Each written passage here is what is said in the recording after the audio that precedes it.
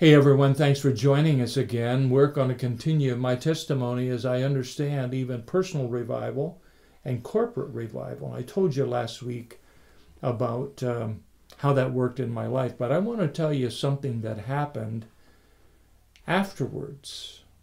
So I came home from that trip I told you in Marietta, and I began to tell everybody about my experience with understanding that Jesus is my life and how I invited him to be my sanctification and my service and uh, my shepherd by faith.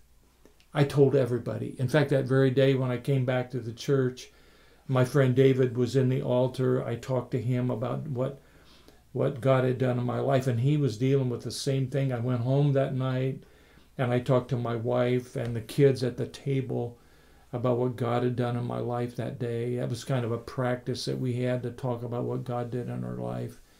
I told my pastor friends. Um, I gave my testimony at my school there at Tennessee Temple. And so I just went everywhere.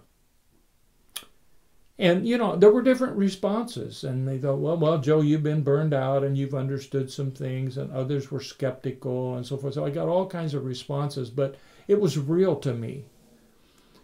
But I noticed that after two years, I crashed and burned again. Oh my word, I was back in this depression again. What had happened? You'll never believe this, but my wife and I were shopping in, uh, with the kids, and as I received the mail that day, I opened up the mail, and there was a little booklet in there about a person who gave his testimony that was almost identical to mine and how he ended up back in a kind of a depressed state too.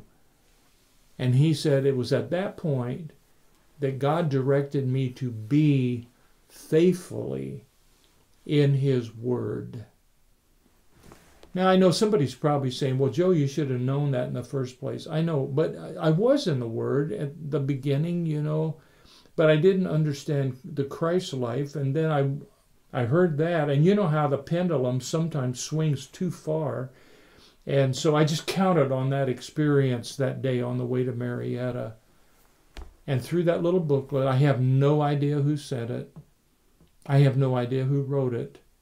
But I learned that I had to become a man of the Word. You know, this is cool because if you're a pastor, you're thinking, Joe, I don't want my church to be experience oriented. I understand. You want it to be word based. I understand.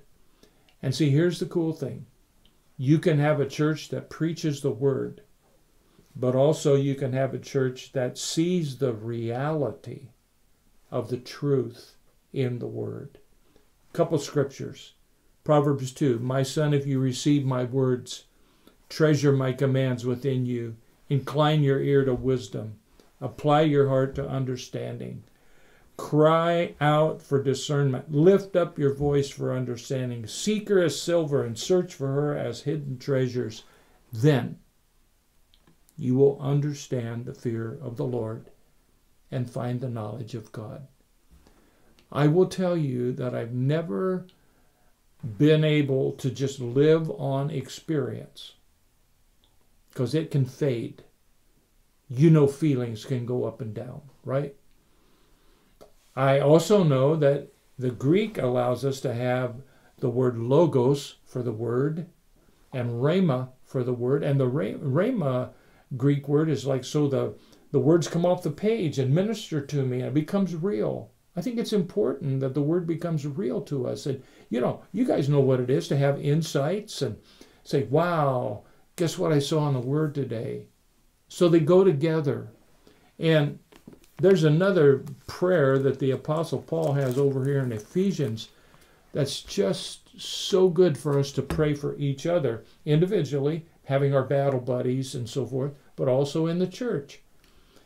In Ephesians chapter 1 and verse 15, here's how Paul prayed Therefore, I also, after I heard of your faith in the Lord Jesus, your love for the saints, I do not cease to give thanks for you, making mention of you in my prayers that the God of our Lord Jesus Christ, the Father of glory, now listen, may give to you the spirit of wisdom and revelation in the knowledge of him.